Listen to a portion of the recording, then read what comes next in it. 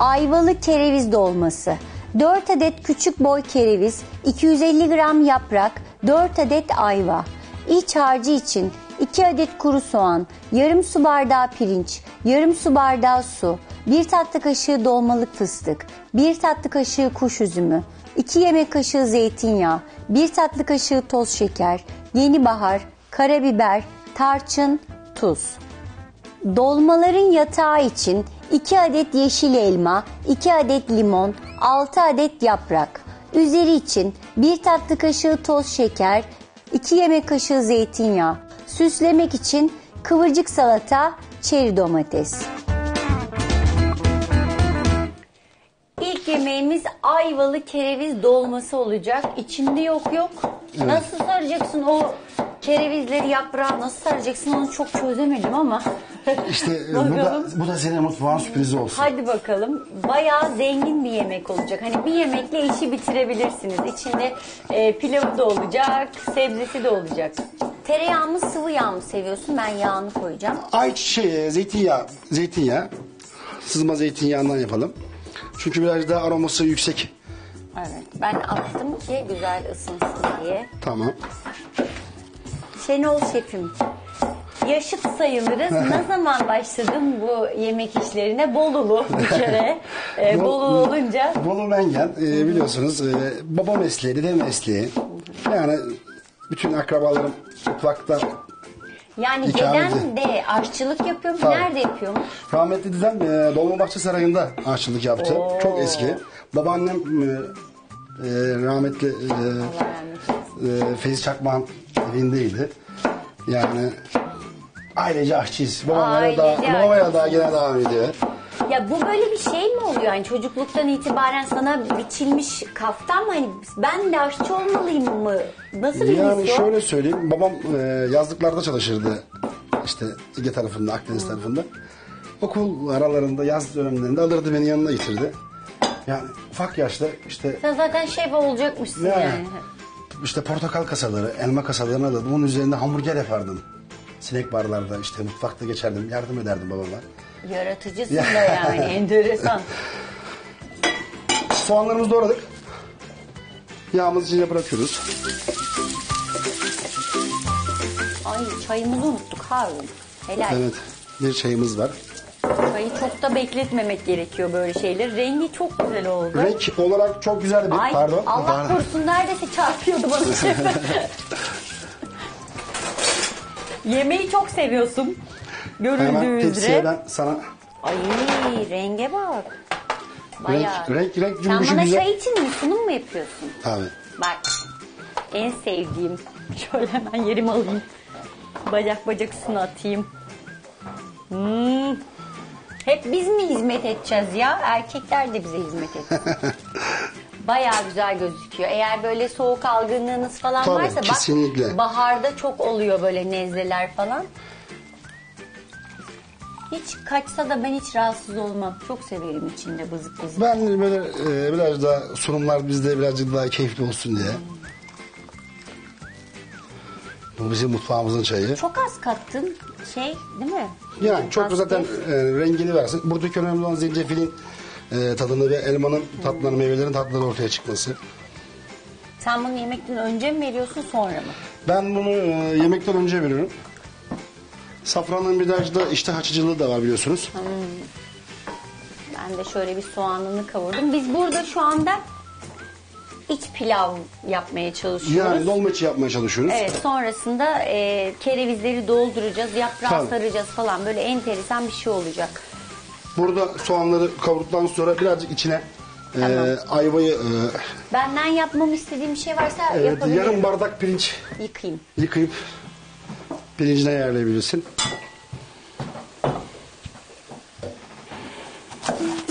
İlk peki profesyonel böyle aşçı olarak ne zaman başladın? İlk profesyonel açılımı 1990 yıllarında başladım. Çünkü ufak yaştan beri mutfaktayım. Ee, çok farklı işletmelerde çalıştım. İşletme olarak yani gastronomiye ufak yaşta başlamak demek bu. Yani tabii şöyle söyleyeyim. İlk profesyonel e, mutfak şefliğine 1900-2000 yılında mutfak şefliğine başladım. Yani işletmelerde işte bizim bölüm bölümdür bizim mutfağımız. İşte soğuk bir yerde, sıcak bir yerde, patiseri bir yerde. Ben hiç soğuğu sevmedim. Soğuk şunu sevmiyorum. Soğuğu ben de sevmiyorum. Sıcak yemekleri. Tatlı da sevmiyorum. Yok ben mutfakta sıcak. Benim işim sıcak yemek. Evet ben, vallahi bak ben de öyle. boğuşacağım yani yemeklerle boğuşacağım. Evet. Pilavı yapacağım, oradan fasulye yapacağım, oradan gideceğim bir yani yapacağım, oradan gideceğim. Hemen bir ete aklayacağım. Orada bir sıcak daha böyle hareketli geldiği için ilk sıcaktan başladım. Burada tekrar şöyle söyleyeyim. Biz bu içimiz içine ayva da koyacağız. Tamam. Ayvanın aromasını versin diye. Önce böyle hani e, soğan, patates soyma sen zaten babanla o aşamaları aştın zannediyorum ama e, şeflik hayatın direkt şef olarak başlamıştır bu durumda. Yani. Ya Yani. etiket olarak zaten Bolulu olunca. Tamam diyor herkes yani enteresan bir Şimdi- şekilde. Anneler falan da değil mi? E, Benim annem benim annem Karadenizli. Aa, Rizeli. Karadeniz kadını daha pratik yemek Tabii yapar ben mesela böyle. iki, iki kültürler arasında biz- annem Karadeniz yemekleri yapardı mesela. Dolmalar, karalahana çorbası. Evet. Ama Mısır daha ekmeği. onlar böyle hızlı ve hani mutfaktan hemen çıkılan Tabii. yemekler genelde Tabii, yapıyor tabii. Karadeniz. Tabii onlar daha hızlı yemekler. Biz onlarla büyüdük mesela. Evet. Yani çocukluğumuz mesela onlarla geçti. Sen nerede büyüdün? Karadeniz'de mi? Ben İstanbul'da doğma. İstanbul'da İstanbul'da. doğdun, büyüdün. Bunları da ayvamızın Şimdi içine. sen onu öyle kavuracaksın. Ben takvime bakacağım izninle. Tamam. Orayla sen uğraşırken. Hoşça kal eski gün. Stephen Hawking demiş ki sessiz insanlar en gürültülü zihinlere sahiptir. Çok iddialı olmuş ya. Şefim ne diyorsun? Öyle mi sence? Nasıl? Sessiz insanlar en gürültülü zihinlere sahiptir. Bakma sessiz olduğuna ya. İçinde ne fırtınalar kopuyor Yani, diyor. yani. Ben katılıyorum. Ben de katılıyorum. Vallahi katılıyorum.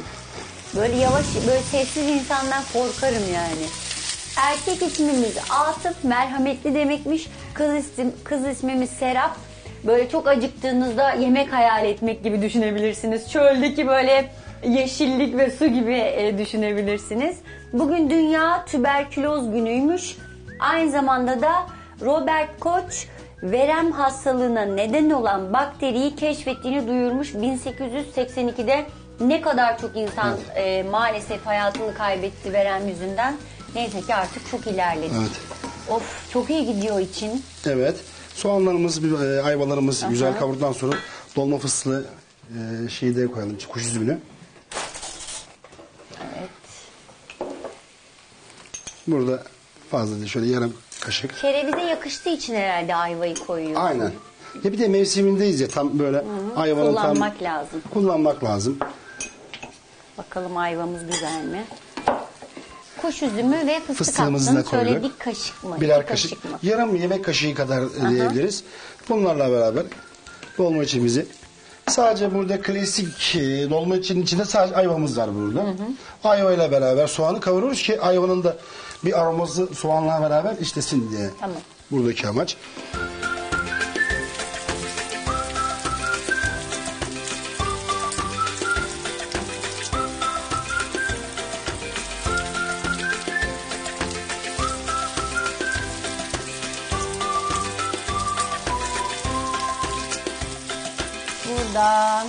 Baharını, Yeni baharını atalım. atalım.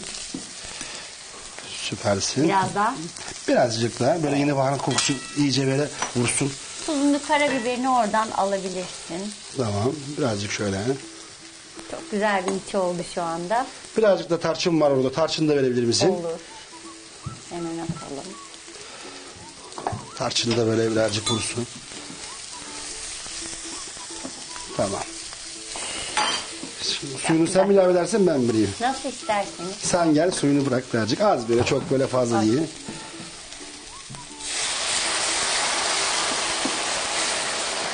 Tamamdır.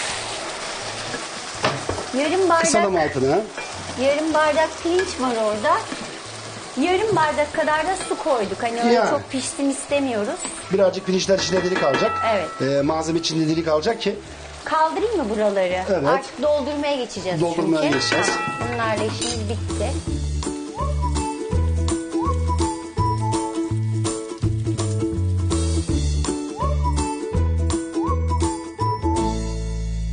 Evet. altına Alt zemin hazırlıyoruz.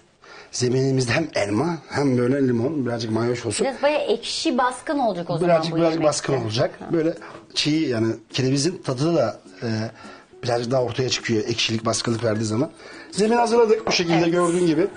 Yine burada ayvalarımızı bir böyle birer parça ayva daha bırakacağız içlerine böyle hafif şeyden doğru. Çay bu arada muhteşem. Böyle çayları seviyorsanız mutlaka deneyin. Çok da kolaydı. Elma, zencefil, çilek, çilek, işte nane. Ee, yani burada ne mutfakta ne varsa. neydi? Safran. Safran koyduk içine.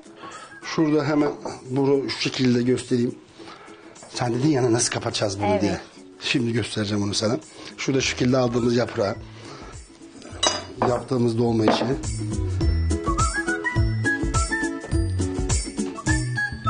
Günün fotoğrafları artık böyle hani yemek programlarından mıdır artık e, anne babalar çok mu bilinçlendi ben bu duruma çok mutluyum E, yemek yapan çocukların fotoğrafları çok teşekkür ediyorum ailelerine ben her zaman söylüyorum uzmanlar söylüyor aslında ben çok destekliyorum kaliteli zaman nasıl geçirilir diyorsanız eğer bence mutfakta geçirilir mu çocuk çocuğunuzla birlikte Gördüğün gibi şu şekilde.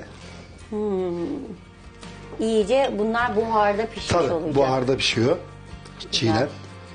Şu iç harcın yalnız çok mu çiğdir? Bayağı aşerdim. Tadına bak. Bakayım. Merak ettim ekşisini ekşisini. Burada yapraklarımız birazcık büyük olursa daha güzel olur. Daha kaplar ürünü.